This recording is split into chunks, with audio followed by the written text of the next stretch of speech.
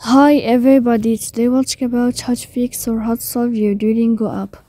To know how to fix or how to solve your Duolingo, you should just go to settings. After that, we click apps, default apps, app settings. Here in this list, you will enter to the app or to the window of Duolingo app and you click here in this page.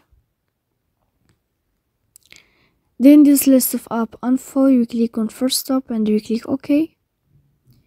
Then we'll enter to storage.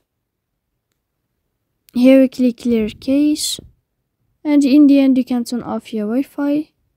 You can turn on your Wi-Fi again. So please don't forget to support us by like and uh, subscribe. See you next time in another video and uh, thank you for your attention